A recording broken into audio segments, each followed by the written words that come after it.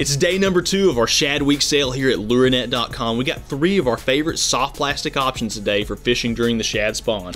Number one, we've got the Yum Pulse swim bait. Number two, we got the Yum Break N Shad soft plastic jerk bait. And number three, we got the Yum Tip Toad Topwater Buzzing Frog. These are three great options. You can fish them in a variety of ways in different water columns to catch those fish during the shad spawn.